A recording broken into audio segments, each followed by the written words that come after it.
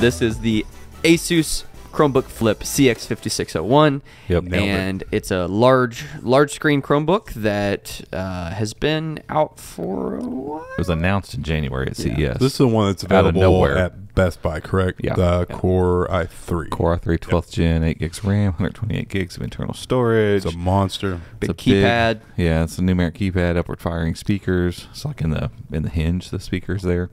Um, yeah, 16 by 10 aspect ratio at 16 inches, um, full HD. So that was a that's a little bit of a knock for me right now. Like that size of a screen, that's a lot of screen real estate for full HD. Like you, you can see it from regular working distance. You can tell like uh, it's just a it- little what should it be like 2.2K? Yeah, it should be, just be a quad HD screen um, all day, but it's not, and so uh, it is what it is. It's it's affordable, um, and so I didn't talk about that in the in the video, but you know, realizing it's like what I think like four ninety nine or something, Yeah, the value proposition. four forty nine or four fifty nine. I don't know. I don't remember how much. Yeah, I want to say it's like 529, but it's already gone on sale. Yeah. You could get it for like 430 or something yeah. like that. so which- that that's a big deal because you know we treated this video a little bit different, um, and we're going to kind of see how people react to it, and and maybe do um, like what I, what we would consider like main device unboxings in this way, um, devices that we intend to review, for instance. And so the the montage at the beginning with the unboxings done, and then it's like here's some literal impressions, and I, I kind of hone it down to six. We list out the specs, boom, those are out of the way, and it's three things I like, three things I don't. Um, uh, impressions wise so far, and the, the things I really like are uh, the speed, and it's the first i3 we've had, the 12th gen i3. Um, and yes, the the GPU isn't as good as the i5 and i7 in this generation. It's not Iris Xe graphics. It's it's I think they still call them Iris, but it's like Iris yeah, HD graphics. Yeah, it's it's the Intel UHD. I think they're up to 630 now or Yeah. something like that. So, So it's there. So it's fine. Like for Chromebook tasks, completely fine. Um, the only thing that if you were looking at getting uh, uh, getting into Steam gaming when that launches, or like when LumaFusion launches later, assuming it really leverages the GPU, it a, a different Chromebook would be better for those final renders. But um, for for everything I've thrown at it, no issues whatsoever. And it was so fast feeling that we ran some benchmarks and did a um, a post about this too like it was beating the Core i5 and i7s that we have here in the office in some benchmarks. It was like it wasn't like oh it's it's only a few thousand marks you know lower than these. It's it's the same or sometimes better if I depending on when I ran it. Like I I could it, it would beat the i7 in octane and speedometer sometimes. So which is crazy because insane. yeah, previous gens like the i3 i5 gap was pretty big, and then the i5 i7 gap was a little bit smaller. But for them to be on par, the only boost you're getting in the bigger chips is the the GPU. and I think the hyper threading is a little different. I think Yeah, it's going to be hybrid threading because I don't think the i3 does uh, multi-core. I have to double check that. Yeah, I'm I'm not really sure, but either way, I mean, using it with a quad HD extended monitor and doing all the stuff I normally would do, just crazy fast. Like, never ever thinks about doing anything, and so. Um, I, I really do like that. I like the speed, and I like the fact that the i3 delivers that kind of speed and performance because it means cheaper Chromebooks are just faster, which is awesome. Uh, 8 gigs of RAM, 128 gigs of NVMe means that it's going to keep up with with everything you're going to want to do. Um, keyboard is excellent, um, but the CX5 from last year was excellent, so that's not surprising. It feels like the same keyframe. Um, obviously, it's a huge keyboard, so it's nice and spaced out, super clicky, great travel. It's excellent. Um, and the screen size is awesome. Like having that, I mean, you, you have the exact same size on the MacBook. Um, and when you take it by itself, Yeah, that's over it, there. right? hmm and when it's sitting there by itself, like that's enough screen real estate to like get super duper productive Oh, yeah. and like not really feel the need for an external display if you didn't didn't want Have one. to have one, yeah. Um, and so having some more resolution would take that to the next level. And so that became kind of a that that part's good. The bad parts are 1080p doesn't take full advantage of the the sheer actual physical size of the screen because I don't have enough pixels to. To, we, we to- to tried get- yeah we tried getting a shot of like some of the icons the app icons but like it was hard to get on camera Yeah. but looking at it you can You you can can, see You can see some it's pixels pixelated. and it's like eh, and that doesn't bother me so much as as much as it's just when you have that much physical screen real estate, that many square inches or square centimeters, however you measure, like it's not as useful when the resolution's low. Right. So if it's a higher resolution, I can scale it in different ways. And, and you know, I take like 14 inch Chromebooks a lot of times, like uh, 1080p ones. You know, when you go all the way up to the native resolution, things are a little bit small. But if that's the only screen I've got and I want to split screen some stuff and I'm okay dealing with some smaller text on screen, I can make that option and do that and actually utilize my screen real estate more. You can't go past 1080p on this thing. So it's like, cool. I mean, this is the size things are, and this is just how it's going to be. And so I feel like it's underutilized in that way. Uh, but the uh, the screen, I didn't believe. Asus said it's 300 nits. I was like, there's no way, no way that's 300 nits.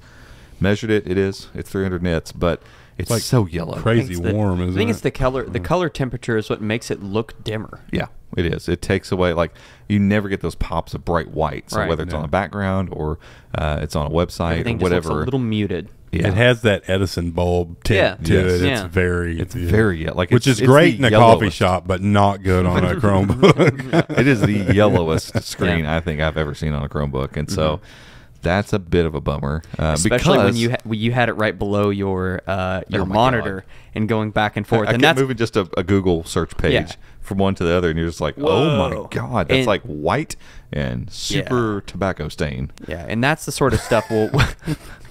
that's the sort of stuff we'll get in the full review. For this one, we just got some nice kind of glamour shots, but you can still see it in the glamour shots. I think you can see it in the in the thumbnail even. Oh, yeah. I mean, we we edited the thumbnail a little bit to kind of clean it up, and Yeah. even still, you can kind of see it. And I'm like. Don't like let's not bring the color temperature down in the image and fix Right. it. Like that is what it looks like. So Yeah, so you know th- those things normally uh, warm, like the Pixelbook Go has, has a warm screen um, comparatively, but Yeah. it's Not not, so that warm. warm. It's not so warm that it's distracting. This Yeah. one, even without any other screens in front of me, I see it and I'm like, Ugh. Yeah. And I just can tell it's just not white. You, Right. you never get white Right. um, on the screen, and so that's a bit of a bummer. Um, the trackpad surface is nice. It's large, and it works fine. Like I haven't had any problem with it working.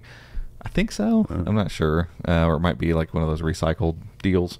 Uh, I don't think it's glass, but it, regardless what it's made of, it's the surface is great. It feels great, um, but the click mechanism, it's not flopping around or anything, but it's like hollow and cheap, Oh. super cheap, s- Yeah. like super duper duper cheap, and so something could be out of place on ours. Um, it might It makes me think of Acer, and no knock against Acer, but they've always made that 15.6 inch budget device that's at Walmart all the time. that click mechanism. That's that, what it feels like. Yeah, that. Oof. hollow, weird, and just Yeah. every time you click it, it's like, God, is this gonna break? Like I feel like it might break. Put your finger through it. Um, oh, and, and on that note, like the whole bottom of the chassis is made of plastic, which as was the CX5, I think. It might have had. I'm pretty sure might have it's had aluminum. I'm pretty sure we thought it might be aluminum then bottom. we were- and it yeah, was plastic. mhm. Uh, it's firm, ish. Um, I noticed in the video when I was holding it up, like you see You a can see pretty decent Yeah. bow, Mhm. but it it's also very poorly weighted. So you've got an aluminum super lid, glass screen, and it just if, if you even if you hold it back for like where the vents are, it wants to almost turn over. like Yeah, it's super top heavy.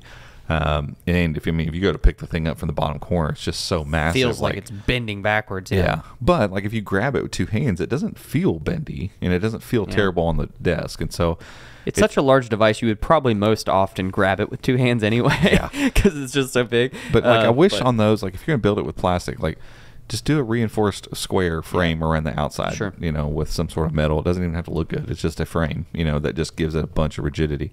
But it wasn't even the rigidity that was a problem. It's just the fact that it's all plastic makes the weighting really weird. Uh, so when it's open, it almost feels like it wants to tip over. should put uh, weights in them like golf clubs so you can Yeah, adjust them. I Yeah. like mine. Yeah. Um, and then I like mine a little, little, little I uh, tend, to weighted. draw, I tend to draw a little bit. Yeah. A little a little key. Uh huh. Yeah.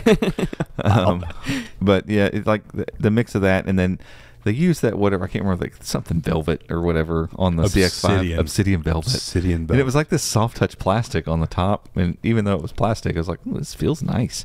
And you know, when you're typing and your hands are on, it's like, "Oh, this is nice." And my wife's got the CX5, and she's had it for well over a year, and it's like it's held up. It hasn't. I figured it might wear in and like I figured it would it. stain. Yeah. It's I mean it's black, so it's Yeah. it's held up really well. I mean for a, a Chromebook that just gets beat around the house basically.